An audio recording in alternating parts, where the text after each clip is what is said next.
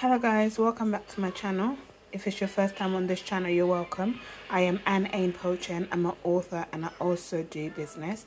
Now today's video is me sharing with you ingredients for making a jamaican rice porridge okay?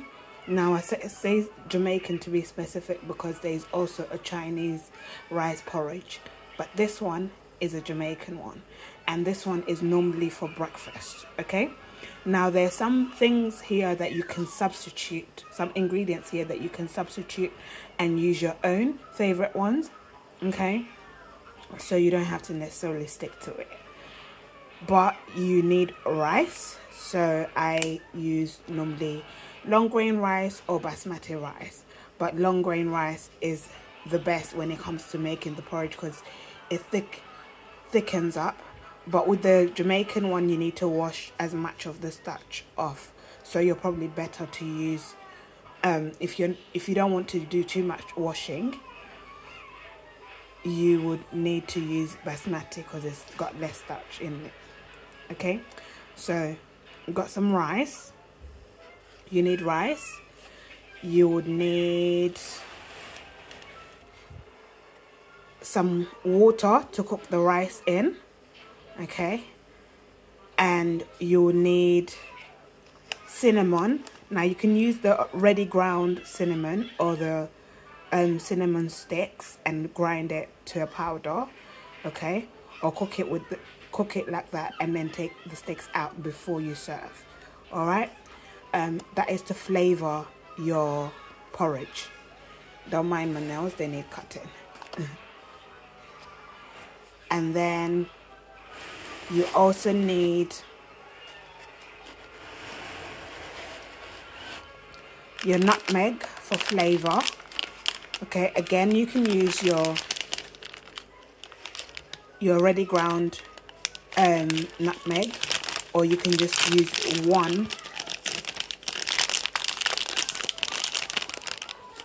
Of the whole and just crush it up yourself. Okay and use it that is also to flavor the porridge. And then you're gonna need vanilla okay? To also to flavor the porridge. And you need some table salt also for flavoring the porridge. And then you can use any type of milk that you normally use okay? If you if you normally drink um goat's milk you can use goat's milk. If you use cow's milk you can use cow's milk.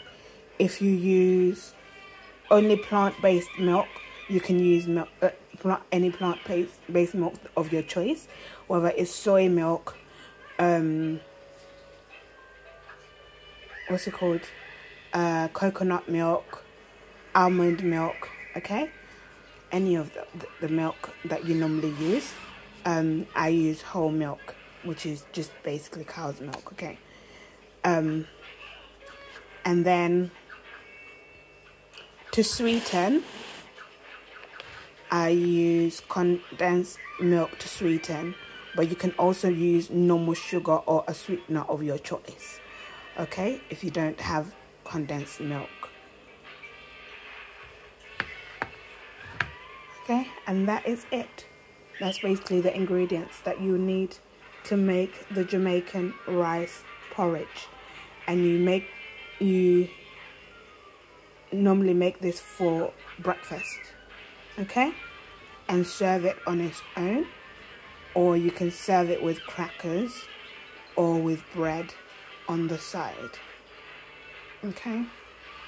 That is it guys. I shall see you all in the next video Bye.